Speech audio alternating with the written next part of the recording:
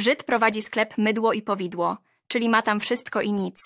Pewnego dnia wpada do niego Chińczyk i pyta Ma pan może staniki w rozmiarze takim a takim, taki a taki fason w czarnym kolorze? No mam. A po ile? Po 15 dolarów. To ja bym wziął z pięćdziesiąt sztuk. Żyd nieco zdziwiony, ale zadowolony z transakcji zapakował. Podziękował.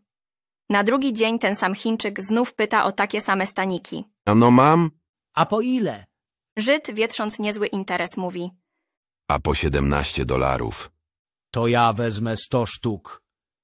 Żyd jeszcze bardziej zdziwiony i jeszcze bardziej zadowolony niż poprzednio, cieszy się z zarobionej forsy. Następnego dnia wpada znów ten sam Chińczyk i pyta, czy są jeszcze takie staniki. No są. A po ile? Po 20 dolarów. To da pan sto pięćdziesiąt sztuk. Żyd nie wytrzymuje w końcu i mówi Ja panu sprzedam i 500 tych staników, tylko niech mi pan powie, co do cholery pan z tym wszystkim robi. Masz pan jakąś hurtownię, czy jak? Nie, jaką znów hurtownię? Śmieje się Chińczyk. Tu obcinam oto, tu taką tasiemkę też ucinam i Żydom jako jarmułki po trzydzieści dolców za sztukę sprzedaję.